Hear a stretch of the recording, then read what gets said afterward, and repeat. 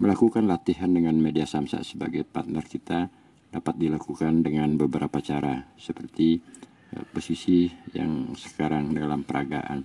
Di usia-usia yang sudah lanjut untuk melakukan gerakan yang serius dari awalnya biasanya sedikit agak eh, malas. Jadi harus dilakukan beberapa cara seperti peragaan yang coba kita share pada video berikut.